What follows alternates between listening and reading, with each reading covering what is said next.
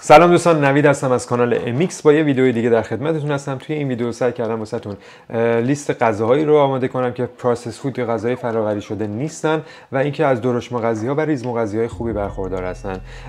توی هر کدوم از این غذاهایی که توی این لیست هستش مقدار پروتئینش رو واسهتون زدیم که بدونین یه ایده ای داشته باشین راجع به اینکه چقدر پروتئین در روز دریافت می‌کنین اگه نمی‌دونین که چقدر پروتئین باید دریافت کنین یه ویدیو قبلا واسهتون درست کردم این بالا می‌تونین ببینینش. توی قسمت description هم لینکشو می‌ذارم. و اینکه اگه نمی‌دونید چقدر کالری مصرف بکنین در روز اگه می‌خواین لاغر بشین یا اگه می‌خواین وزنتون رو بیشتر بکنین یا حجم بگیرین اون هم واسهتون ویدیوش رو قبلا درست کردیم اونم اینجا می‌ذارم لینکش توی description هستش.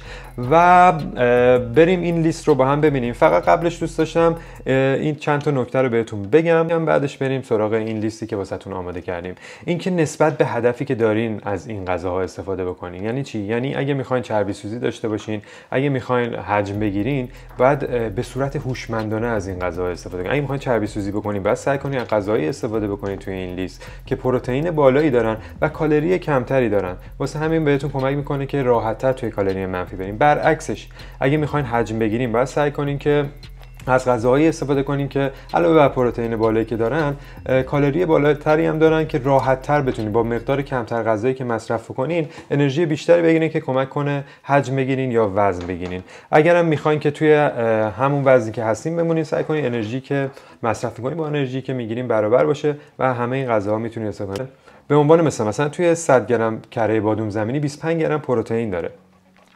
ولی کره بادوم زمینی از چربی خیلی بالایی برخورداره از کالری خیلی بالایی برخورداره. کسایی که دوست دارن لاغر بکنن می‌تونن از کره بادوم زمینی استفاده بکنن. ولی باید نسبتش به کسایی که می‌خوان حج بگیرن کمتر باشه. یعنی باید مقدار کمتری از کره بادوم زمینی استفاده کنید. و سعی کنید بیشتر مثلا بیان از سینه مرغ از گوشت هایی که چربی کمتری داره استفاده بکنید. بخاطر اینکه کالری دریافتیمون رو بیاریم پایین. برعکسش اگه می‌خواین حجم بگیرین سعی کنید از غذایی که کالری بیشتری می‌تونید مثلا کره بادوم زمینی رو بیشتر به غذاتون اضافه اضافه کنین باز هم به عنوان مثال اینو عرض می‌کنم خدمتتون. اگر هم که می‌خواین فقط وزنتون رو حفظ بکنید سعی کنید که از همه غذا استفاده کنید ولی به صورتی که انرژی که می‌گیریم با انرژی که مصرف می‌کنین حدودا برابر باشه. من نکته بعدی که می‌خواستم بگم این که توی رژیم غذاییتون سعی کنید که تنوع داشته باشین. به خاطر اینکه بتونیم ریز مغذی هایی که بدنمون نیاز داره رو واسش تامین بکنیم. یعنی فقط نه ما سینه مرغ بخوریم به خاطر اینکه پروتئین بالایی داره. سعی کنید یه روز سینه باشه یه روز ماهی باشه یه روز میگو بخوریم یه روز گوشت بخوریم و سعی کنیم سبزیجات رو توی برنامه غذاییمون حتما داشته باشیم. از حبوبات استفاده بکنیم.